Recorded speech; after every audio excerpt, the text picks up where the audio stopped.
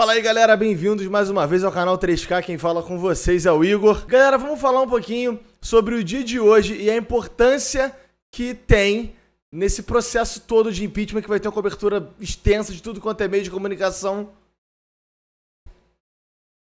Falar de impeachment com camisa polo, cabelo arrumadinho, acho que não é uma boa ideia, né?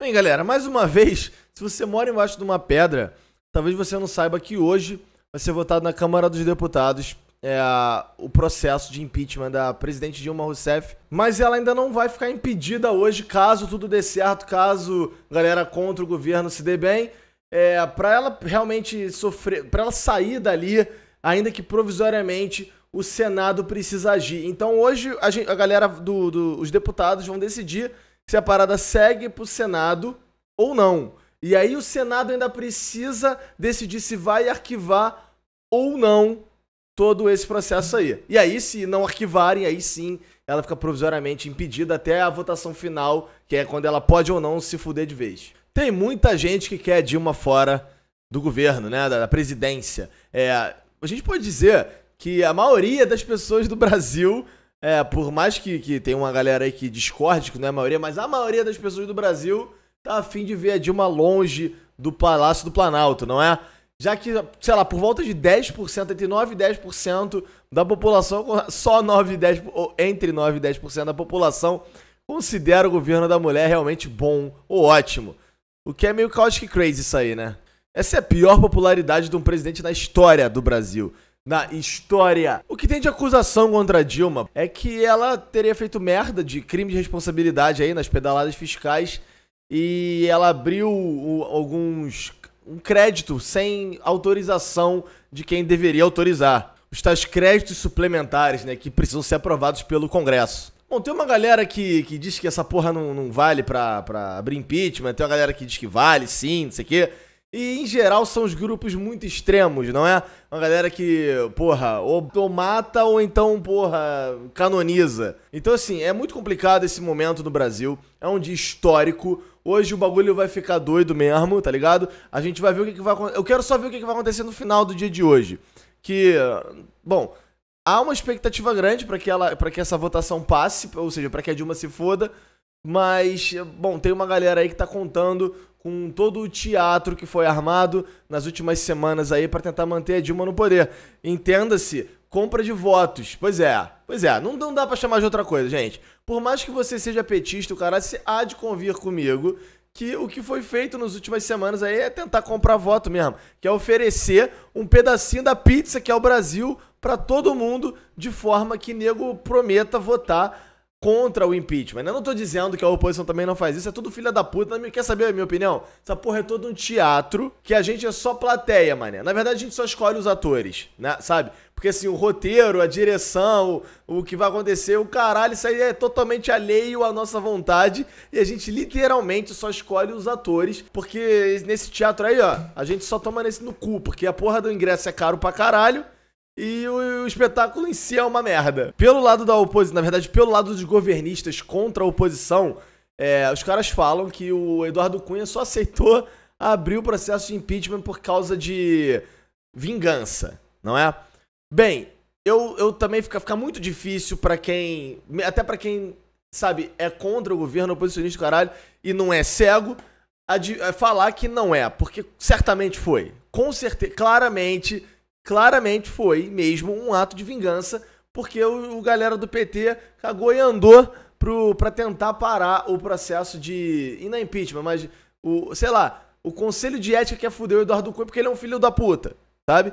E aí o PT não fez nada pra parar, ele falou: Ah, é, viado, vocês não querem fuder meu cu? Então é o seguinte, vou aceitar o processo de impeachment contra Dilma. Porque foi isso que aconteceu mesmo. Vingança. Mais uma vez, são todos uns filhos da puta, é tudo teatro e a gente que se fode no fim.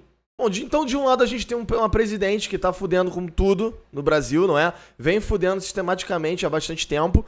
É, por mais galera, ah, mas o governo Lula foi pica, o governo Lula foi isso, o governo Lula foi aquilo. Eram outras épocas onde coisas valiam mais e hoje essas coisas valem muito menos. Então a gente viveu uma prosperidade que era ilusão. Assim, um monte de coisa, um monte de, de, de medida foi tomada no Brasil que todo mundo sabia que com o passar do tempo ia chegar na merda que tá hoje. Na verdade, nem todo mundo sabia. a galera que tava se beneficiando disso queria. Não pensava no, no tipo, 10 anos depois.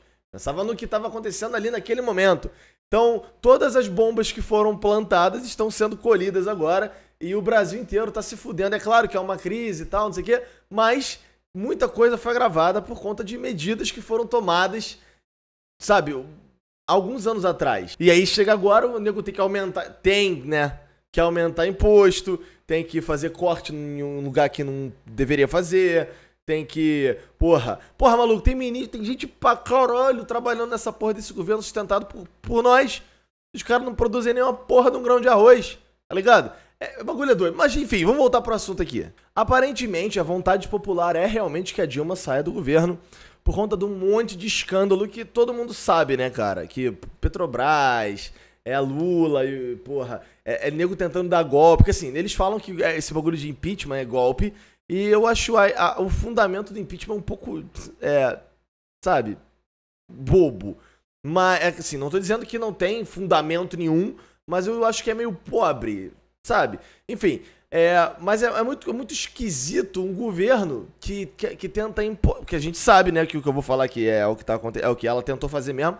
Tenta colocar o Lula num terceiro mandato, porque ela falou com todas as palavras que ia dar ao Lula os poderes que fossem necessários que ele tivesse para que ele ajudasse a reerguer a parada, ou seja, o Lula ia governar o bagulho e, e, e, pegar e chamar um processo de impeachment de golpe. Ou seja, tá todo mundo tentando dar golpe nessa porra aqui. Isso aqui é, é, é um toma lá da cá do caralho, mano. É um bagulho doido, entendeu? Porra, é uma ciranda da porra, ninguém sabe o que que faz. Na verdade, todo mundo sabe o que que quer. Quer ficar no poder. Porque ficar rico, gente, veja bem, ninguém quer mais roubar nada, não. Os caras já estão ricos pra caralho. Agora eles querem o poder pelo poder. Tanto um lado quanto o outro. É, todos eles são filhos da puta.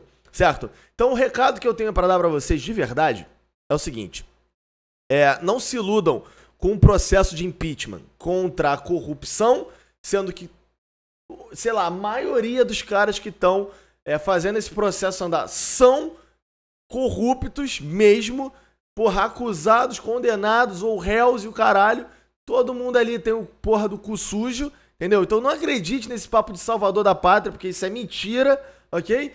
E uma outra coisa é continuem cobrando. É muito importante, é muito importante não se maravilhar com a queda da Dilma e esquecer que, ah, foda-se, agora vou viver minha vida aqui, vou jogar meu Dota. Não é bem assim.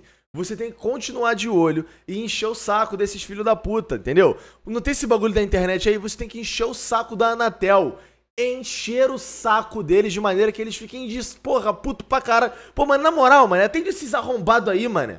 Atende esses filhos da puta aí que estão enchendo meu saco já. É, é assim que a gente tem que fazer eles se sentirem, tá entendendo? Porra, o governo lá, porra, viado, caralho, os caras estão enchendo meu saco, mas na moral, tira o CPMF desses filhos da puta aí, mano. A gente se vira de outro jeito aqui. Corta alguns ministros, corta dois ministros aí que já resolve o problema. Ou sei lá, tá ligado? É assim, mano. A gente tem que encher o saco desses caras sem parar. Beleza? Então, gente, eu vou ficar por aqui. Espero que vocês tenham gostado do vídeo. Espero que vocês tenham entendido o que eu falei. É claro que é tudo muito mais profundo do que isso aqui, mas eu tentei, né? A, a mensagem final foi essa, beleza? Então é isso aí. Se gostaram do vídeo, não esqueçam de dar o like, muito importante. Mostra pros coleguinhas. Hoje é um dia muito importante na democracia brasileira. Na verdade, nessa palhaçada que a gente chama de Brasil, beleza? Então é isso aí. Valeu. Até a próxima. Vai uma coxinha?